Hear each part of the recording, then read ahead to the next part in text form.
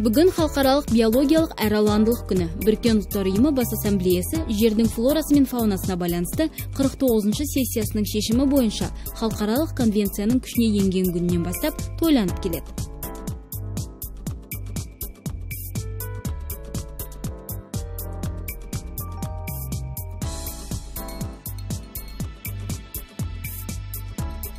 1899 жылы Лев Толстой өзінің «Воскресенье» шығармасын аяқтайды.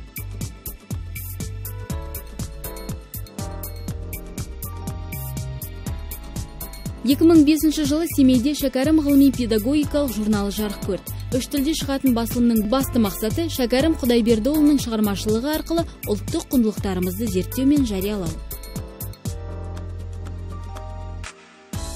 2008 жылы қазақстанда ядролық технологиялар паркінің радиациялық технологиялар кешенінің технологиялық желісі іске қосылды бұл технопарктің инновациялық инфрақұрылымының алғашқы өндіріс объектісі болып табылады